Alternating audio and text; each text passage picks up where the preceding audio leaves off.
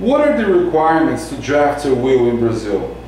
Uh, to draft a will, uh, sometimes it's good if you hire a lawyer, and uh, you a possibility to make a will that you can offer 50% of your assets. Uh, you cannot go beyond this because this is not possible according to Brazilian law. And how does it work estate administration? Estate administration, uh, according to Brazilian law, it's really necessary here in Brazil.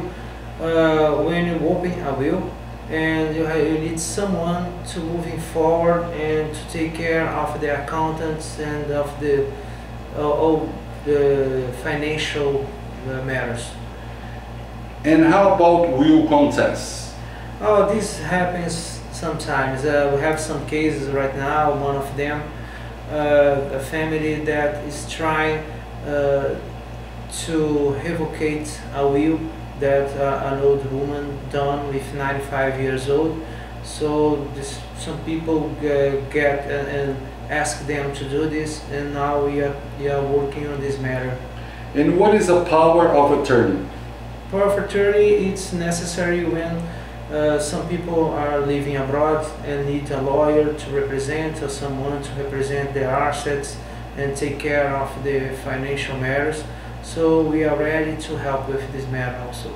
And what are the implications of guardianship proceedings? Uh, here in Brazil, it's uh, the guardianship. It's necessary when someone is not in good health of mind, or with uh, uh, like nine or hundred years old. So uh, we, we are really we are ready to help also with these matters. And what is the definition of mental capacity and how does it impact in guardianship? Uh, mental capacity when the people is not in good health mind. So uh, this affects a lot since according to Brazilian law, this person cannot make payments, cannot make uh, take care of the financial life. So uh, we are we are really ready to help with these matters.